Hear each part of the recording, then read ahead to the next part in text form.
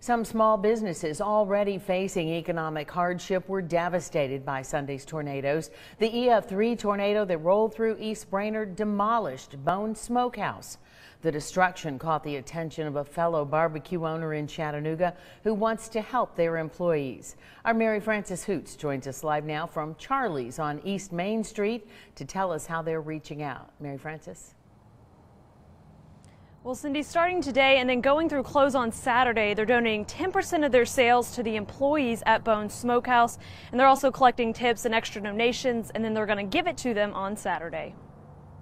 Elizabeth St. Clair, owner of Charlie's Barbecue and Bakery on East Main Street, has been in the Chattanooga area for two years now. Her business was safe in the storms, but their friends over at Bone's Smokehouse were not. It struck us in the gut to know that their building was absolutely demolished and they have employees out of work and could have been us. St. Clair wanted to help out, even though her business has struggled during the COVID 19 outbreak. We need to give back.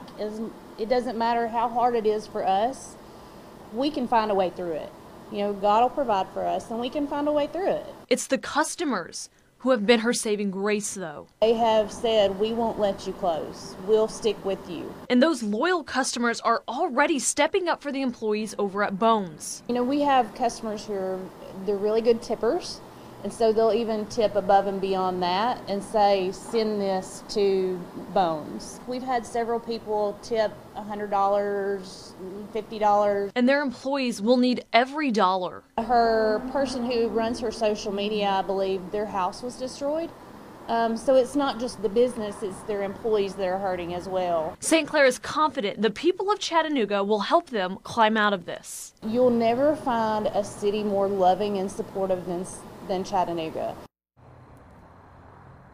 Well, I spoke with St. Clair just a bit ago. She said on day one they've raised $500. I also spoke with the owners at Bone's Smokehouse, and they said they're still assessing the damage from Sunday's storms, and they have not decided yet if they're going to rebuild. Live in Chattanooga, Mary Frances Hooch, Channel 3 Eyewitness News.